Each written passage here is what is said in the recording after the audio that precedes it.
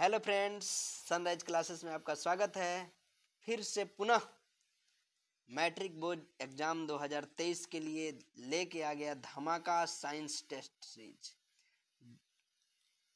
आप इस टेस्ट को लगाइए और अपना तैयारी को जांचिए, क्योंकि ये टेस्ट सीरीज़ जो है, ये आपके मैट्रिक बोर्ड एग्ज़ाम से संबंधित है। और मैं इस चैनल पे करीब पंद्रह से सोलह टेस्ट कराऊँगा, ठीक है? और वो टेस्ट आपको लगा के ही एग्ज़ाम देने जाना है। आपके लिए सबसे बेस्ट हो जाएगा और एक बार टेस्ट को लगा के देखें और जब मैं इसका पुनः एनालिसिस लेके आऊँगा तो हर क्वेश्चन में चार ऑप्शन दिए हैं। चारों ऑप्शन के बारे में मैं डिटेल्स एनालिसिस कराऊँगा।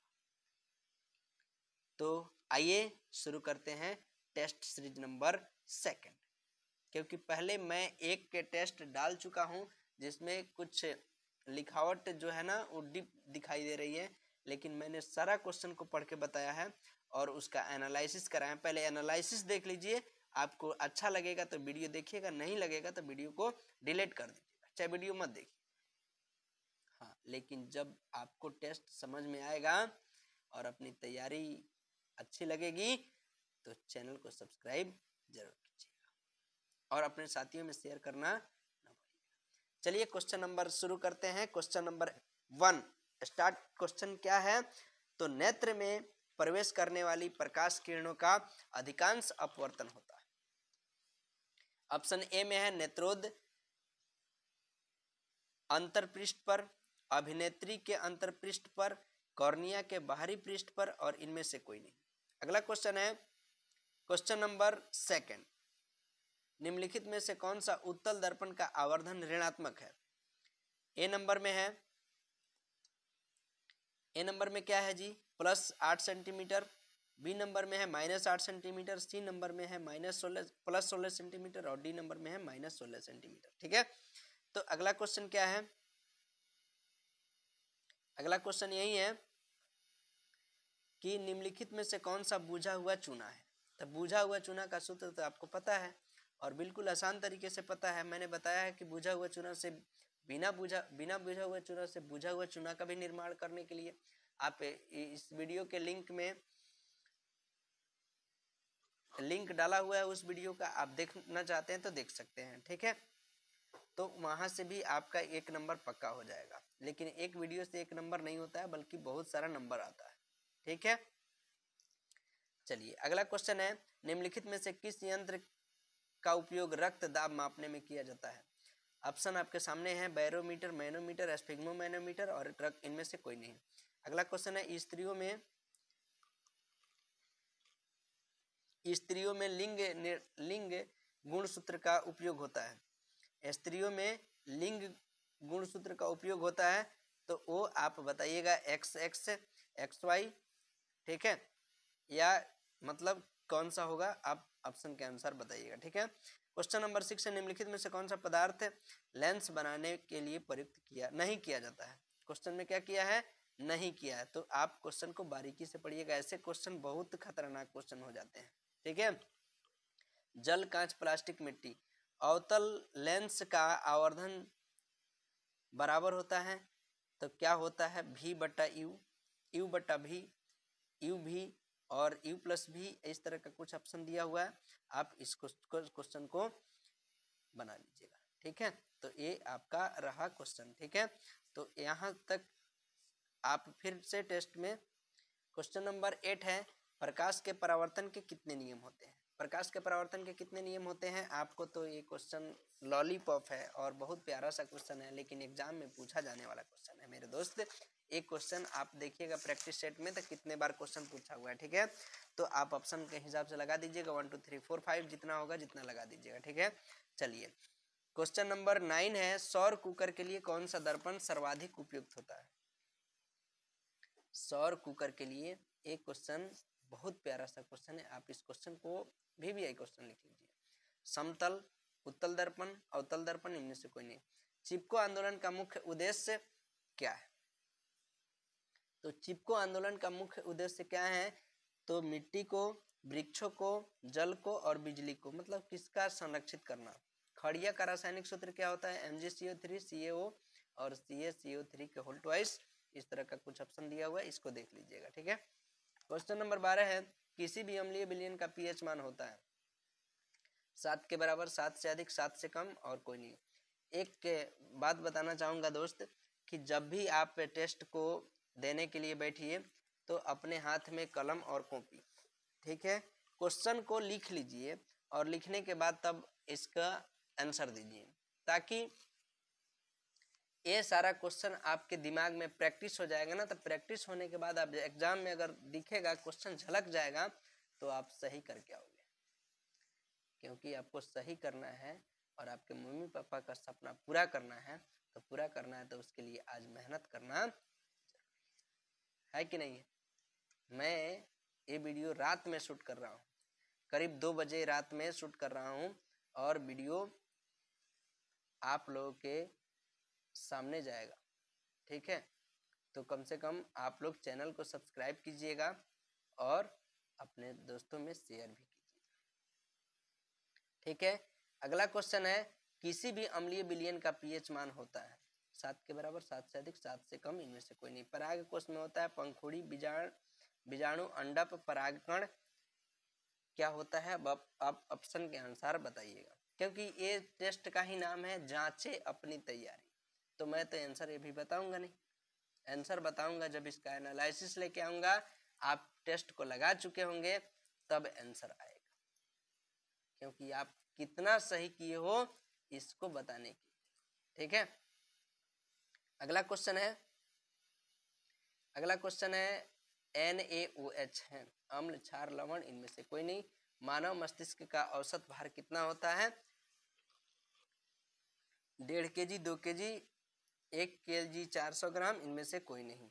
ठीक है? तो ये सारा ऑप्शन आपके लिए है है ना? चलिए। क्वेश्चन नंबर सोलह है वायुमंडल में CO2 गैस की मात्रा कितनी होती है? वायुमंडल में CO2 गैस की मात्रा कितनी होती है जी? तो आपको ऑप्शन यहाँ पे चार ऑप्शन दिखाई दे रहे हैं। ज़ीरो दशमलव ज़ीरो एक परसेंट, ज़ीरो दशमलव ज़ीरो पाँच परसेंट, ज़ीरो दशमलव ज़ीरो तीन परसेंट, ज़ीरो दशमलव ज़ीरो दो परसेंट। आपको इसमें तीन गैस का नाम बताना है। ठीक है? वायुमंडल में सी गैस का तो पूछा हुआ है।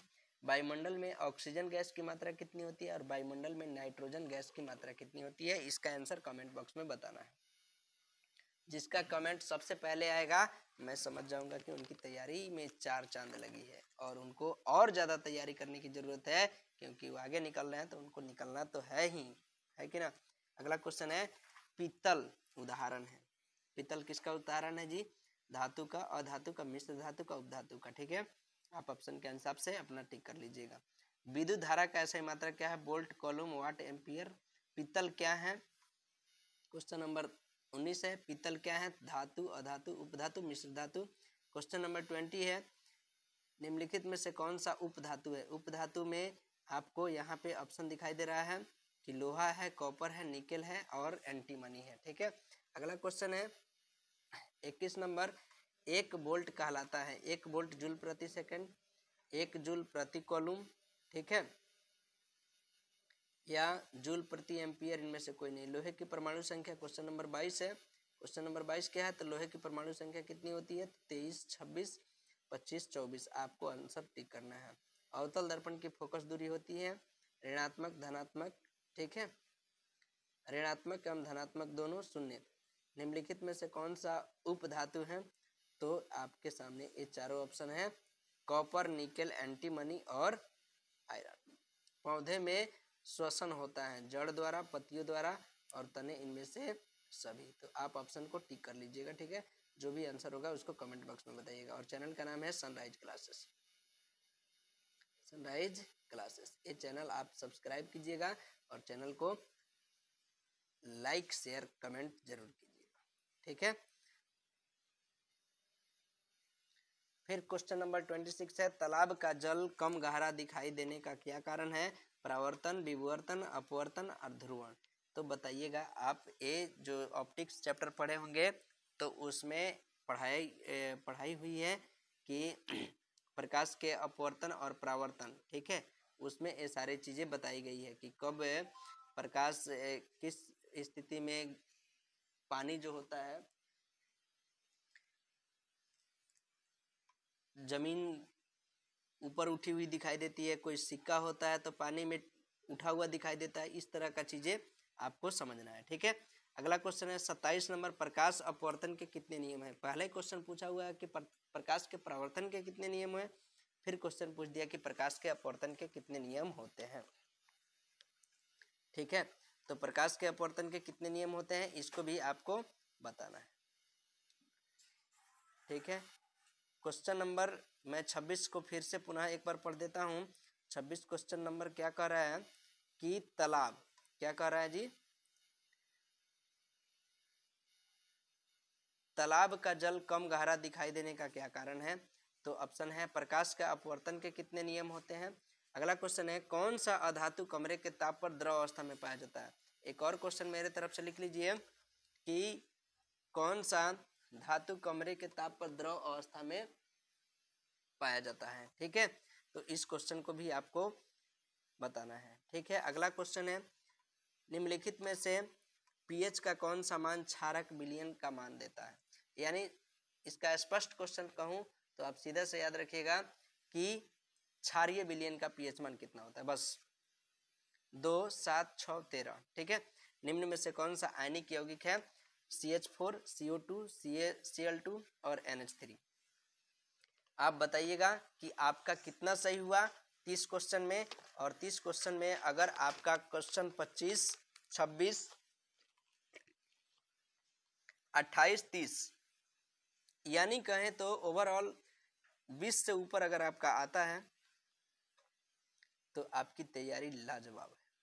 और आपको और ज़्यादा तैयारी करने की ज़रूरत है, क्योंकि आप कुछ आगे निकल चुके हैं। निकले हैं तो और आगे निकलना है, ताकि अपने स्कूल का नाम रोशन करना है, अपने मम्मी पापा का नाम रोशन करना है, और अपने इलाके में झंडा लहराना है। तो आज के लिए बस इतना ही। मिलेंगे फिर नेक्स्ट डे आप लोग को तीसरे क्वेश्चन का एनालिसिस लेके, यानी इसका नाम है सुपर थर्टी सीरीज़, जांचे अपनी तैयारी। Best of luck. Thank you so much bye bye take care शुभ रात्रि जय